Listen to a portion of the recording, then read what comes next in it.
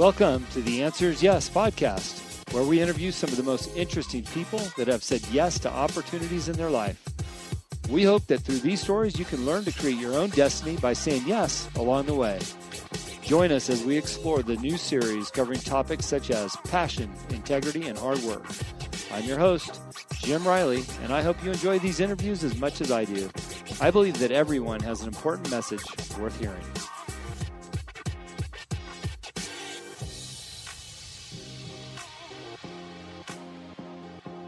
This week, I sit down with Mark Nureddine from Bull Outdoor Products, and uh, you got to know that means Bull Grills, outdoor grills. So if you are a fan of barbecuing and outdoor kitchens, this is the show for you. I just, I have a lot of respect uh, for Mark after talking to him today about how he started his business and his philosophy throughout. And really, what it comes down to is putting your head down, working hard, putting out the best product available, constantly innovating to keep up with the times and the demands of his consumers.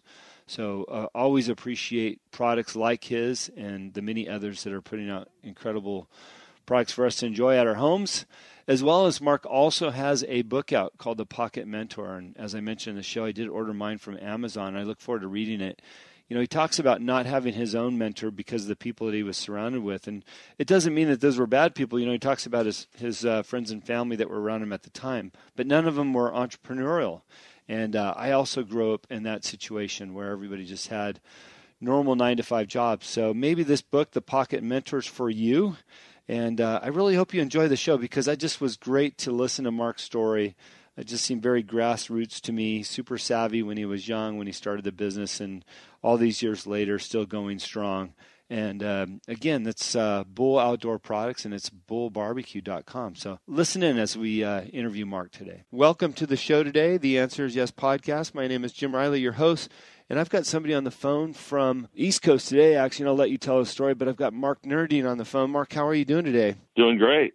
Thank you. Yeah, you know, um, I was introduced to you from a friend. His, his name is John Solomon, who knows uh, owns Liquorama out here in the West Coast, and I know that you were a West Coast guy. And John is just such a great individual with his business over there, and uh, we're very like-minded. And I knew that uh, when he referred you over, that I was going to get a good story, and upon a little bit more research, the story got better. So um, I'm very happy to have you on the line today.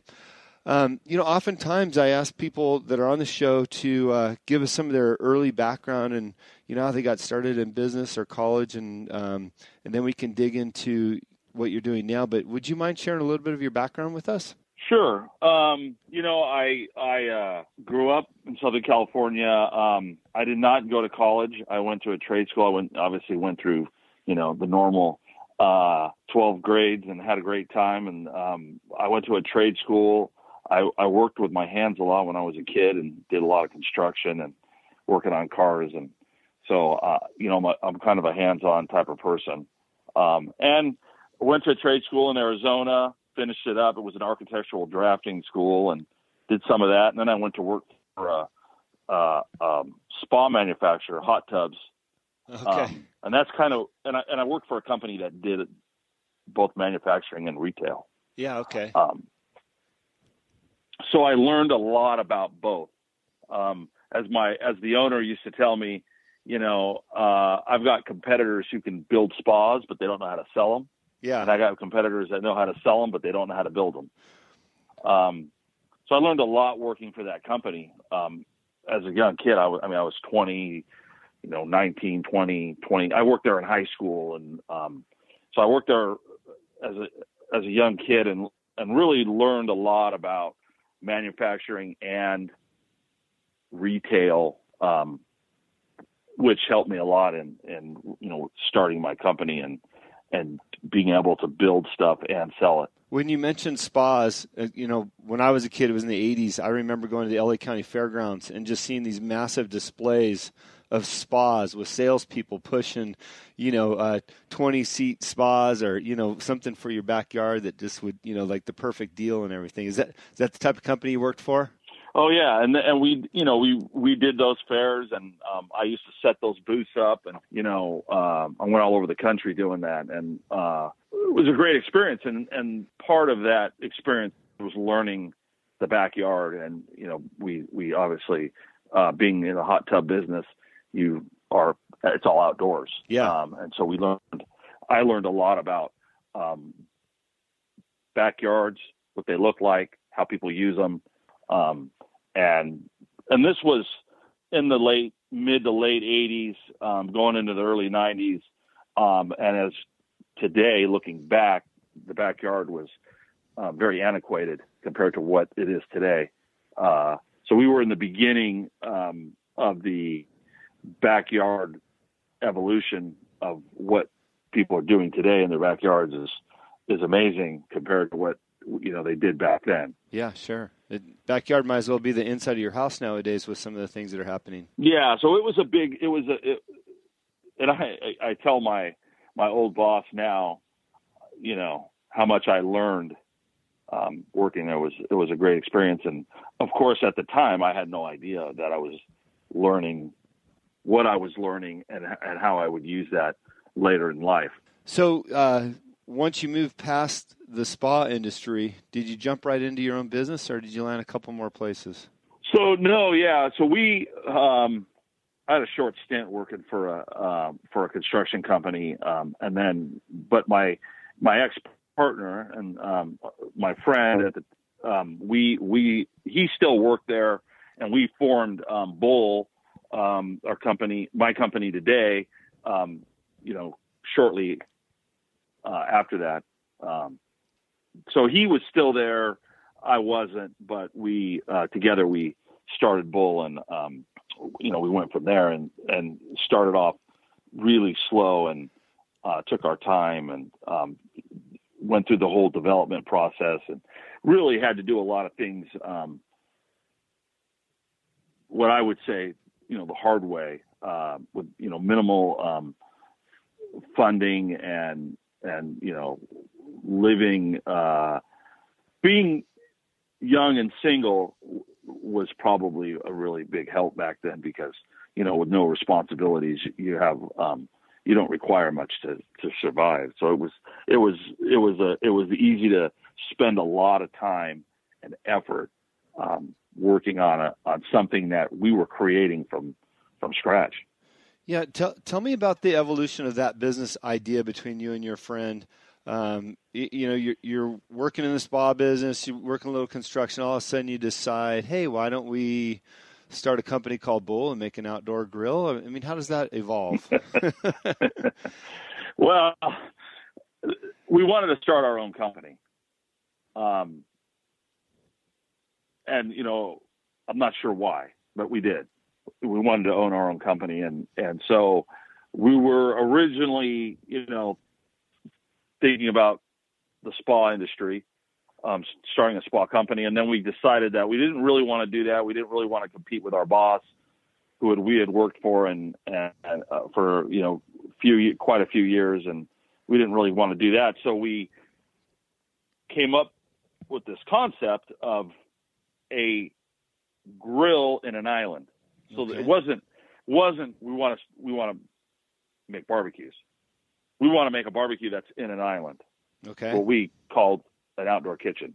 Mm-hmm. So that was the that was the concept, and it it was also comes from the backyard and outdoor living industry, but it was different than a spa. It had nothing to do with the spa industry, and it was completely different. And so we felt a lot better about doing that than than getting in the spa business and um, creating a uh, a company that would compete with our our uh, boss. So that's kind of how that idea came. Where that idea came from, I think it came from some home show in Florida, um, you know, and then it just evolved. Uh, but at the time, we had to make our own grill because they weren't as, as accessible um, then as they are today. So we so we got in the grill business um, by default. We just had to do it. We didn't have a choice. So you know that's how that whole that's where we started with that. Now I don't I don't mean to dig into the uh, the smallest minutia of that, but what does that mean? You had to make your own grill. Did you go down to the Home Depot and get yourself some metal and some? I mean, how how do you make your own grill? Well, we got cardboard and built a um, we built a model of a grill out of cardboard. Uh-huh. Sheet, you know, it's the sim the, the cardboard simulated sheet metal. Sure. We and we kind of we built the thing out of cardboard, um, you know, basically with a with a with a knife and tape and um, and then we um, had to build a control panel in the front um, with grates and uh, the valves, um, and so we did it very. We went out and bought used um, equipment, sheet metal equipment, and welders, and um, and uh, my my partner's father was a big help in, in um, kind of helping us with the gas part of it, and um, you know we we um, like you know a couple of guys in the backyard with a welder and some sheet metal equipment, and we um, we formed the stuff up. We bought a, a spot welder and we welded up the the uh, the, the seams and um, I think we went and bought some grates uh, that were already built and the hood we the hood part of it we struggled with pretty you know that's a little bit more intricate Yeah. we bought burners you know but we you know we um, basically uh, through trial and error um, came up with a a grill that worked um, and it was um, like I said, we had the time um, and uh, patience because it it the patience is you know you can't you, get you get it gets frustrating you know working on projects like that. Um, but you just we just kept at it and at it and at it and figured it out and you know eventually got it to where uh, you know at some point we got where we had to start sourcing out production on things because we couldn't do it uh, we couldn't keep up with the equipment that we had. But and and we um, found a guy in uh, Corona that did porcelainizing so we would take the things down there and they would porcelainize it Mm-hmm. um, we we took half inch pipe and t- drilled it and tapped it and put the valves in it. I mean, yeah, it was very uh, very basic, very very basic. What I love about hearing that is you guys had so much sophistication for starting a business. First of all, you knew you didn't want to compete with your boss. Um, you know, you certainly had some loyalty there. You knew enough about backyards that there was a need, so you decide that you're going to um, create this grill concept. You knew that you didn't want to work for somebody else. You wanted to start your own business, and you knew enough to have the grit and determination to figure this out on your own, find the parts, and put this thing together. And um, I, it's really a nice reminder of how things are created and started because I think in today's day and age, we just expect everything to be right there at our fingertips, you know, pop up on Amazon and have it shipped to us, and all voila, we're going to have a business. And um, I love the grit and determination that you had to put something together and figured out how to do that. So th- thanks for the reminder of what life used to be like. well, I think you know. First of all, in any in any new new uh, adventure like that, um, you're you're trying to solve a problem or trying to you know create some kind of a niche, um, and and something special. Um, and if you can buy it on the internet, it's not really special. Yeah. Um, so that it takes a lot of creativity and a, and a, and a lot of um,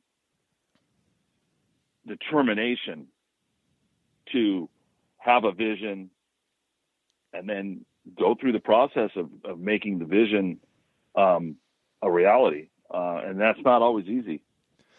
When you guys started this business, what was your long term vision? Did you think it would be a success? Did you think you'd just make a few bucks and work for yourself so you can not have to work for somebody else? Or what were your thoughts early on on this? No clue on that. Uh, you, you know, um, I think, well, it wasn't the first company I started. The first, I had a smaller business that I had started with, a, with another friend. Um, uh, it was a graphic design business. Mm-hmm. Um, and it was, it, it, it wasn't, it worked out for him. It wasn't for me.